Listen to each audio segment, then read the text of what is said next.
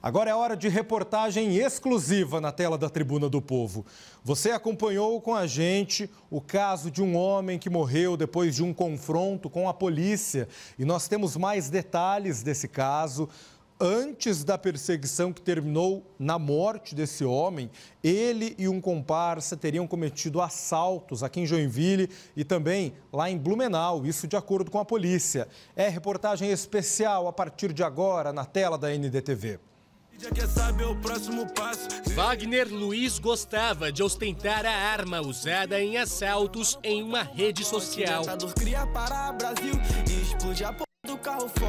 Ele fazia parte de uma facção e tinha um parceiro fiel para cometer os crimes. Então, ambos os rapazes eles já tinham várias passagens criminais, algumas por roubo, outras por receptação.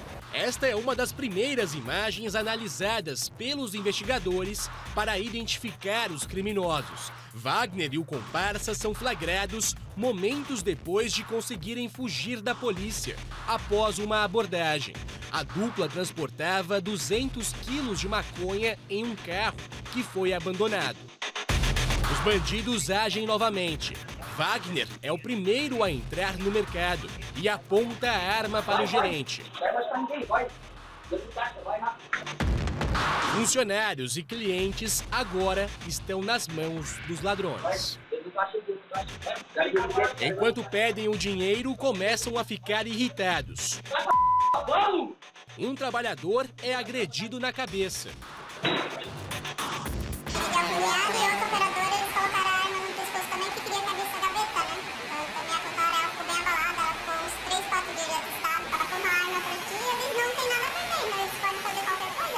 Dupla faz a limpa nos caixas e ainda obriga o gerente a verificar se não sobrou mais nada. Abriu? Abriu? Não deu, não deu dinheiro, cadê o dinheiro? Vai, pega aqui, pega aqui. Pega aqui, vamos. Mais de R$ 1.500 são levados.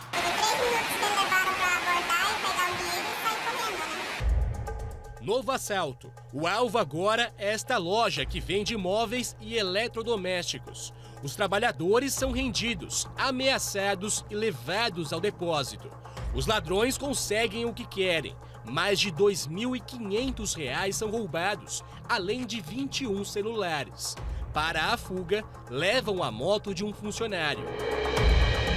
Uma das últimas ações da dupla foi o roubo deste carro preto, que depois foi visto pela Polícia Militar. Hoje a gente trabalha muito com essa questão da agência de inteligência, né? Então a gente depende muito de denúncias da comunidade. A agência de inteligência passou a monitorar esse veículo, foi solicitado ao BPR que realizasse essa abordagem, justamente por se tratar de ocorrência de altíssimo risco. Wagner não obedece à ordem de parada e acelera. Está em alta velocidade e tenta fugir.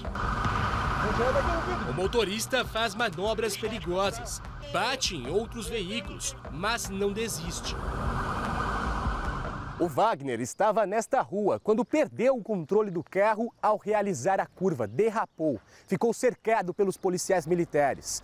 Ele então pegou uma arma e fez disparos. Houve uma troca de tiros e o criminoso foi baleado diversas vezes no abdômen, na cabeça e também nos braços morreu no local. Agora, o comparsa do Wagner entrou na mira da polícia. Ele já foi identificado, já foi qualificado ali e agora a gente só está esperando ali a representação né, das autoridades policiais perante o Poder Judiciário para pedir, para solicitar o pedido de mandado de prisão desse rapaz.